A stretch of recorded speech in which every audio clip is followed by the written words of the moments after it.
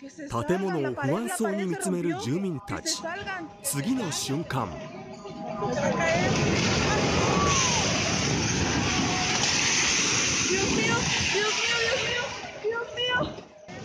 建物は跡形もなく崩れ落ちました Earthquake, Mexico City.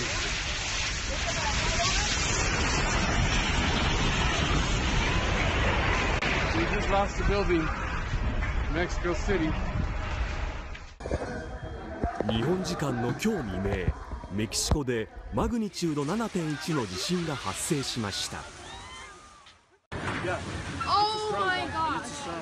揺れにより川が大きく波立っています。首都メキシコシティも激しい揺れに襲われました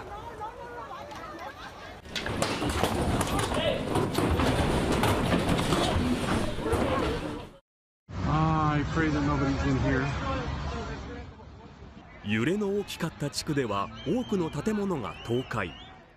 こちらの小学校では崩れた校舎の下敷きになり少なくとも22人の子供が犠牲となりました.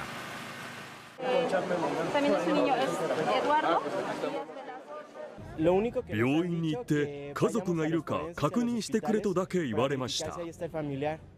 この地震によりメキシコ国内でこれまでに少なくとも217人が死亡したということです。まず不安に感じたのは建物の強度ですね。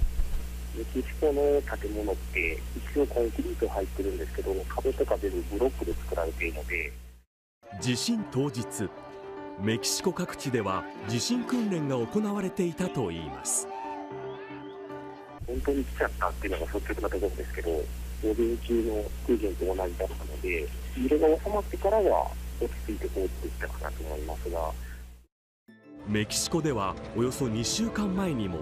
マグニチュード8.1の地震があったばかりです。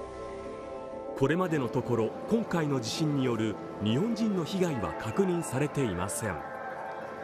今も続く懸命な救出作業。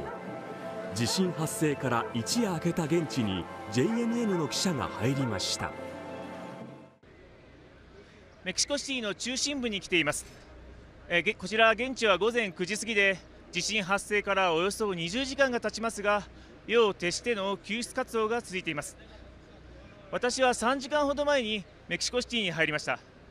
私の後ろに見えますようにところどころ崩壊した建物が確認できました。